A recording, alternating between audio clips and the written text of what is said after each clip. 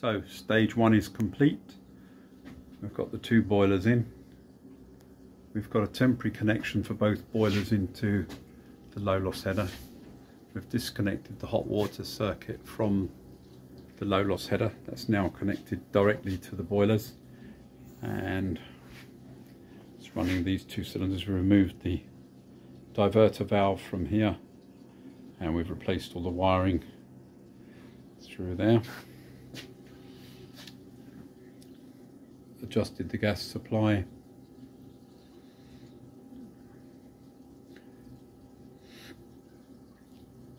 That's it, that's all running quite nicely.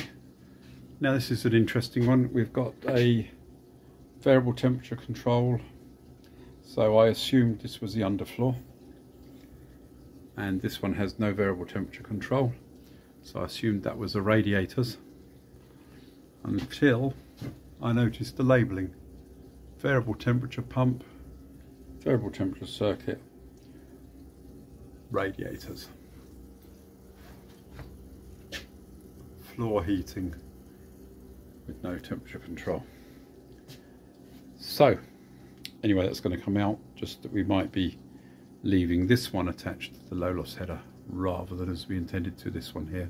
But that's the next phase of the work. So we'll directly connect the radiator circuit to the left boiler and we will leave the right hand boiler connected to the low loss header to run the underfloor heating circuit.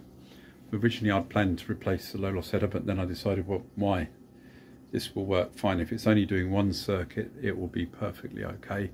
It's only the way it was configured for three that was a problem. So anyway, pleased with it so far. We'll be insulating it on the next part of the job as well and removing that lower header. We're not using that now. We've used the hot water return there. So, okay, well, I hope that helps.